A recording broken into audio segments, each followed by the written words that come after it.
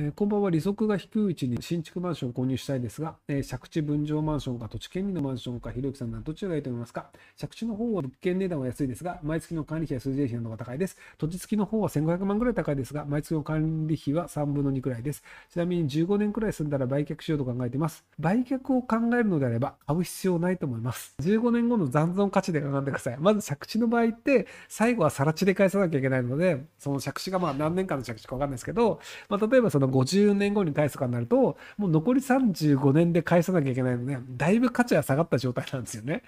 なので、あの、めっちゃ安くしか売れませんって話なので、15年後に売るんだったら15年後の残存価値がいくらなのかっていうのを計算すればいいんじゃないかなって、なんか同じ話さっきもしましたね。